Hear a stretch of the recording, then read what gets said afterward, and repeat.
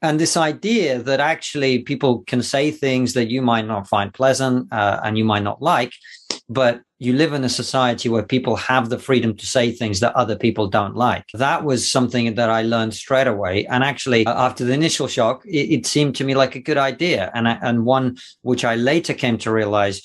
that serves as the foundation of everything else. You don't get scientific progress of the type and technological progress of the type that the West has been able to have